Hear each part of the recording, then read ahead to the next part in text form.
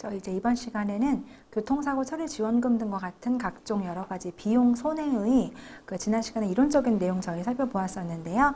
비용 손해에 대해서 구체적으로 이해하고 실제 상황에서 어떻게 청구권 진행되는지에 대해서 같이 살펴보도록 하겠습니다.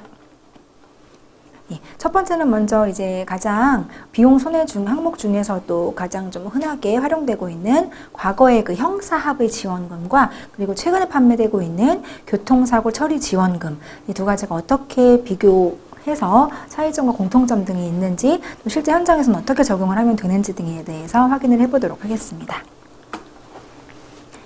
예, 먼저 이제 약관에서 어떻게 해당 문구가 구분되고 있는지를 살펴보도록 할 건데요. 먼저 이제 형사합의 지원금, 과거에 판매되던 내용이죠. 최근에는 다 교통사고 처리 지원금으로 판매가 되고 있습니다. 먼저 그 사망, 부상, 중상해 등 이렇게 담보별로 한번 살펴볼 건데요. 먼저 사망 사고의 경우에 형사 합의금에서는 자동차 운전 중 교통사고로 타인, 타인을 사망하게 한 경우, 자, 가입 금액을 지급을 하고 있습니다. 가입 금액을 지급을 하고 있다. 사망하게 한 경우 이제 가입 금액을 지급을 하게끔 되어 있고요.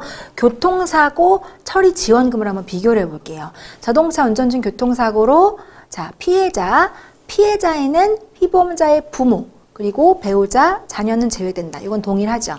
사망하게 한 경우에 여기까지 동일해요. 그런데 한 사고당, 한 사고당 피보험자가 자, 실제로 지급한 형사합의금, 실손 보상 형태로 바뀌었어요. 이때는 정액 보상 형태였다라고 하면은 이때는 실손 보상 형태로 한 사고당 실제로 피보험자가 지급한 형사합의금을 한도 내에서 지급을 하게끔 되는 것으로 바뀌었습니다. 자, 부상은 어떨까요? 부상은 형사합의금에 있어서는 10대 중과실, 10대 중과실로 인해서 피해자가 42일, 70일, 140, 140일 이상 치료를 요한다는 진단을 받았을 때 보상을 해주게끔 돼 있고요. 교통사고 처리 지원금의 경우 이제 이러한 기준들은 또 동일합니다. 40일, 70일, 140일 이상 역시 중대 법규 위반 교통사고로 치료를 요한다는 진단을 받은 경우 역시나 한 사고당 실제로 지급한 형사합의금을 역시나 지급을 하는 실손 보상 형태로 바뀐 겁니다. 자, 그리고 중상해와 공탁 같은 경우는 형사합의금에서는 없는 조항이었죠. 그런데 교통사고 처리 지원금의 중상해일 때와 공탁 시에 어떻게 보상이 되는지 추가 신설이 된 것이에요. 그래서 먼저 중상해 사고일 때, 이때는 이제 중대 법규 위반 교통사고입니다.